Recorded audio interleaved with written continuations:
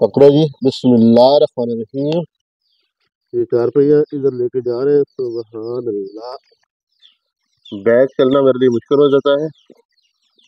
अल्लाह खैर करे अल्लाह खैर करे। ये यहाँ पे।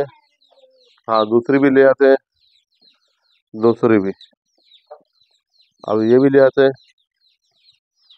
ये वाली उठाओ।